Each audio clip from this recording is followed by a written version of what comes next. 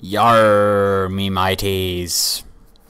Today is officially Talk Like a Pirate Day, and I cannot talk like a pirate, so I'll leave that to you. I really do have to practice for next year. But there is important pirate related news, which is why I'm making this video.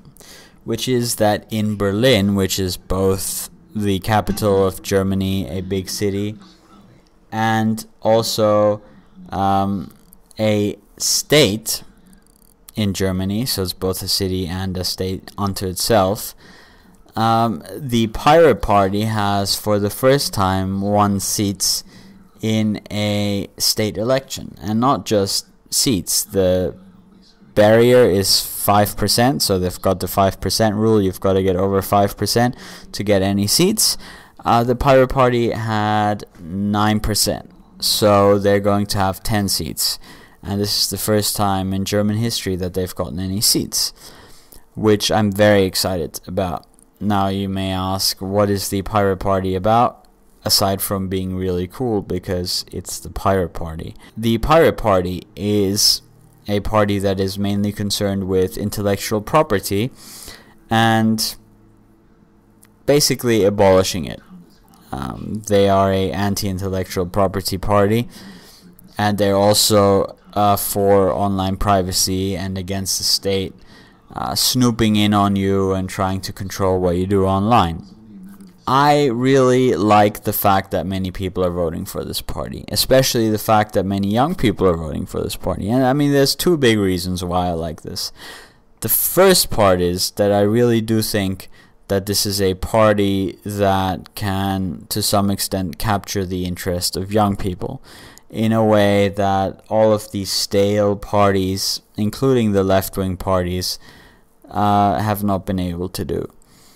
But the second and more important one is because I think that property as a concept is such an important issue to tackle for someone left wing like me, who does not believe in property, that a popular movement which might tackle intellectual property initially, that throws into question the idea of property itself.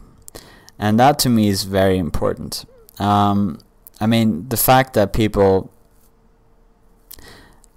that there's at least, there are people in this world who are asking that question again is to me exciting because it's been a question that really hasn't been asked in a very long time by anyone except a couple of people on the sidelines. As much as people talk about all kinds of socialist revolutions and Obama taking over the US with his socialism, there has been no discussion of these concepts, which a socialist like myself um, really does want discussed. I personally would not vote for the Pirate Party, and that's because they're really kind of a one issue party. So it's all about intellectual property and privacy, but they don't have any real economic policy, any real social policy, and so on and so forth.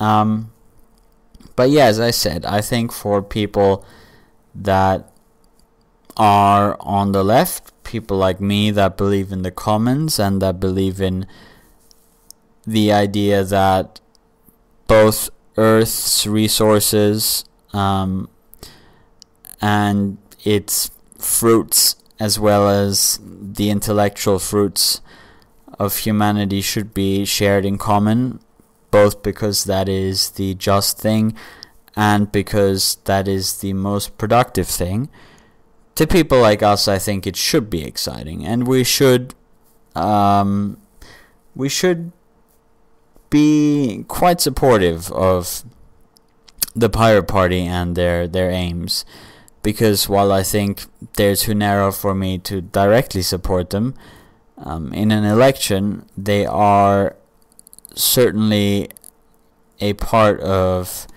a greater debate that I think the world needs to have again. Anyways, I'll see you guys all later. Church of STFU.